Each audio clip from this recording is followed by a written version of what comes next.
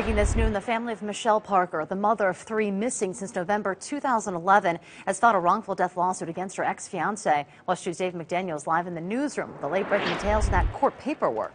Well, officially, Michelle Parker is missing. She has not been seen since November of 2011. But recently, her family has spoken about how they believe she was gone, and this lawsuit declares Michelle died back in November 2011.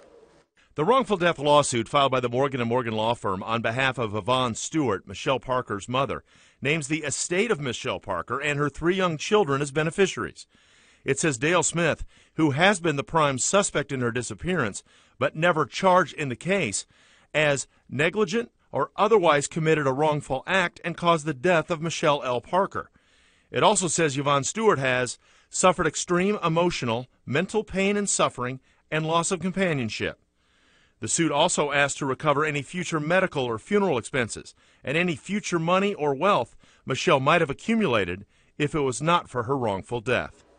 Now, attorney Mark NeJame represents Dale Smith. I spoke with him by telephone, and he said both his law firm and OPD have done extensive investigations. And he says there is no link between Michelle Parker's disappearance and Dale Smith. He says he has sympathy for the family of Michelle Parker, but that a lawsuit brings them no closer to finding out what happened to her. Reporting live in the newsroom, Dave McDaniel, WESH 2 News.